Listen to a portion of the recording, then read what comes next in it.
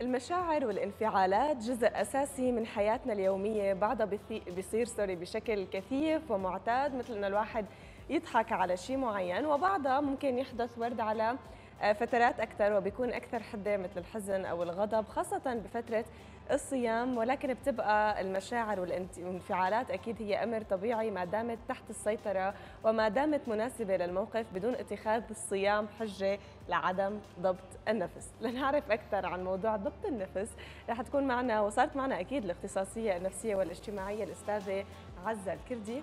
مساء الخير ورمضان كريم. ينعاد عليك مبارك. كريم عليكم يا رب. أهلا وسهلا فيكي. ما حدا حاكيني أنا صايم؟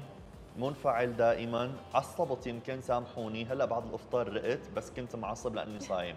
مزبوط نحن ما بنقدر نضبط انفعالاتنا نحن وصايمين.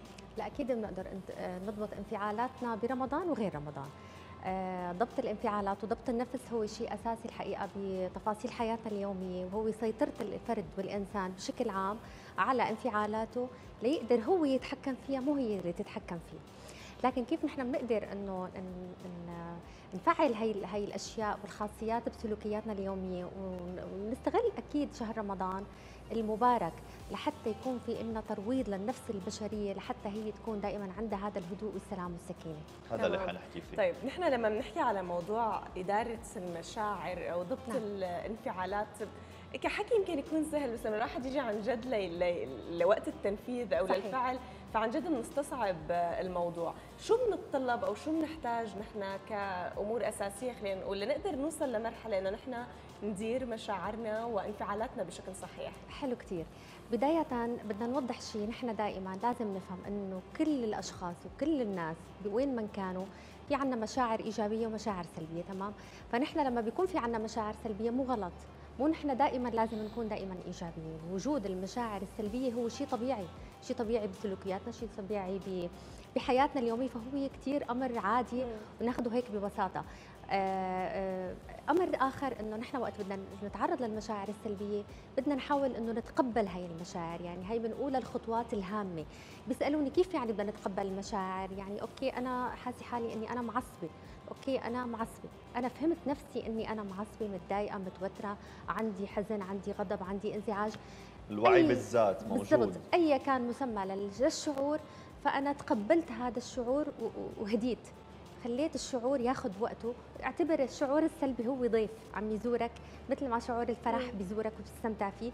كمان الشعور الإيجابي يفترض عليك إنك انت تسامح الشعور وجوده وتقبله ولحاله بيمرق بسلام. صح. هي بس بدها شوية تركيز لأنه نحن وقت ما نركز على الشعور السلبي تركيز قوي إنه هو سلبي سلبي فنحن غذيناه على الشعور وأخذ مساحة أكبر. هي المشكلة مو بالشعور المشكلة بالتصرف اللي بيطلع عنا الناتج عن هذا الشعور بالضبط. يعني أنا يمكن معصبة فلما بروح بفش خلقي ب بزميل لإلي بالشغل أو بأي نعم. حدا إيه هون المشكلة الحقيقية هو هاي الشيء اللي أنا بدي أقول لك عليه السيطره على النفس لأنه نحن من من ضمن هي الأشياء يلي نحن بدنا نحكيها أشياء هامة اللي انت تتصرفيها لحتى تتفادي. تشوفي الأماكن اللي أنت ممكن إنك أنت تكون في عندك فيها توتر فتحاولي تبعدي عنها. تمام. تشوفي جذر المشكلة. الحقيقة الحقيقة هو بشكل أعمق. التعصيب مو بس هو بيجي برمضان يعني هو هو فكرة عميق فكرة شيء من الداخل. أكثر ما يكون بس إنه برمضان هو السبب الأساسي.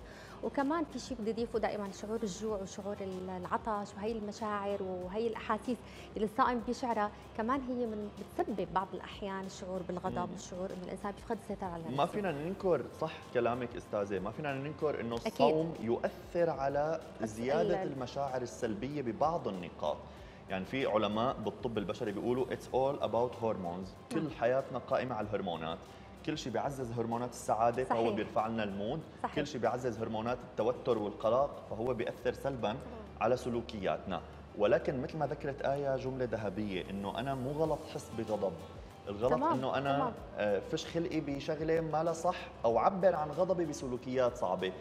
سؤالي كيف بدنا ندرب نفسنا بما تبقى من رمضان إنه سيطر على انفعالاتي ومشاعري السلبية وما خليها تاثر علي أو على غيري؟ بدنا نحترم هاي المشاعر بدنا نحترم الجانب الشعوري الموجود بشخصيتنا. بدنا نحترم جسدنا المشاعري. نترك هذا العقل والأفكار اللي بياخذ وبيجيب. واحد زائد واحد يساوي اثنين وبكرة شو بدي أعمل؟ ال ال ال ال فيما تبقى من رمضان يعني. نحن نحن اليوم بشهر رمضان لازم يكون هذا الشهر هو لخلوتنا مع ذاتنا. تأمل. خلوتنا مع ذاتنا. التأمل أستاذ ورد هو من ضمن الأساسيات أو التقنيات يلي الناس بتقول لك إيه شو تأمل؟ هو تأمل هو هو هو التامل أساسا فيك تعتبره عباده يعني التأمل هو إنك أنت تقعد ترجع لنفسك وتقعد تركز مع حالك وتقعد هيك تستشعر الهدوء النفسي. ورمضان وطاقة رمضان هي يعني بتساهم بشكل كثير كبير بتساعدنا. أنا بدي أقول هيك بشكل سريع بعض الأشياء اللي نحن لازم نتدرب عليها بالنسبة لسؤالك إنه دائما يكون في عندنا استرخاء يعني تقنيات التنفس أستاذ ورد من أهم التقنيات.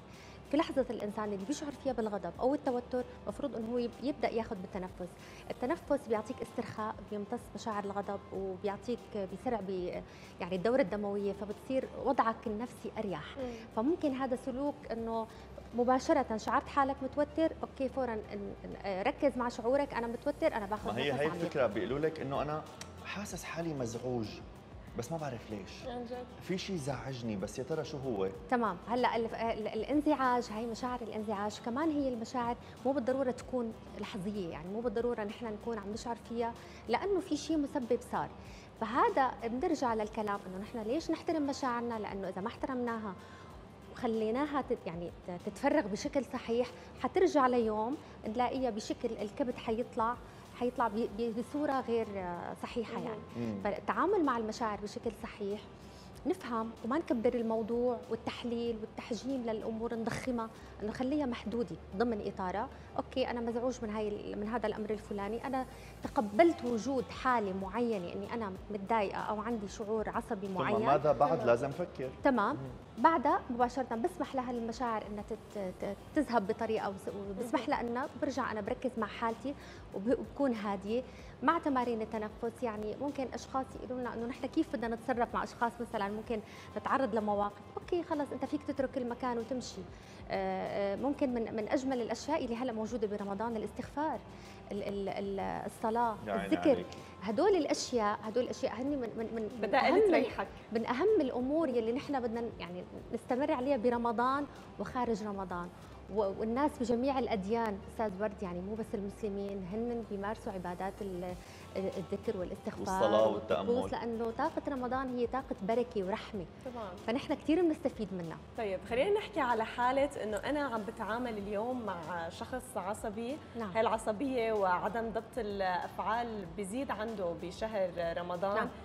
شو ممكن أتصرف معه؟ كيف ممكن أتعامل مع هذا النوع من الأشخاص؟ بدنا نفهم انه إنه كل إنسان له طبيعة له طبع له شخصية مختلفة. آه بدنا نحاول قدر المستطاع إنه نحن وقت بنفهم هاي الأشياء اللي أنا ذكرتها لما بنفهم إنه نحن في عنا آه وقت معين برمضان لازم يمرق هذا الوقت ب خلينا نقول بالمشاعر الإيجابية اللي حلوة فيه. لازم نتعود وندرب أنفسنا إنه نحن نهذب نفسنا. بيكون في عنا غاية. يعني بيكون في عنا غاية إنه نحن حنتغاضى عن هذا الأمر. حلو. حط النية إنه أنا اليوم قد ما انفعلت بالضبط. ما رح أذي حدا. بالضبط. ولا رح أحكي كلمة ولا رح أحكي. هذا هذا ترويض للنفس وتدريب. وبنفس الوقت هو بخلينا إنه نحن يعني نفعل الخلايا خلايا جسمنا والخلايا العصبية لإنه هي تقدر تمارس هي هاي هي هي, هي, هي هذا البرنامج الجديد يلي نحن حنعمل له هلأ إعادة برمجة جديدة برمضان. حنقدر إنه نحن نستفيد من هذا الشيء بعد رمضان. okay. فكتير مهم الهدوء الهدوء. وأهم شيء ما نقول هي ضغطة زر. يعني اليوم 9 رمضان سمعت فقرة برمضان بيجمعنا مع آية وورد والأستاذة آه، ضغطت الزر فقت 10 رمضان. أوه أنا صرت إنسان relax لا القصة ما بتصير هيك. يعني بستغرب أنا آية من هدول اللي بيعملوا قال عامل course بال emotional intelligence بالذكاء العاطفي. فقت صار فصرت عندي. أنا إيه هو الف في مجلدات ورسائل دكتوراه ولليوم ينقد بكثير من أبعاده الوعي بالذات الوعي بالآخرين التحكم بالمشاعر والتواصل وإلى آخره. الوعي ف... أستاذ ورد هو ففي ناس بيقولوا لك إنه أنا خلص تجاوزت القصة. على الوعي الوعي الوعي كثير مهم بس الوعي نحن يعني في أشياء لازم نحن يفهموها الناس وأكيد هلأ هن يعني كل إنسان فينا بيعيش مرحلة من تطور الوعي.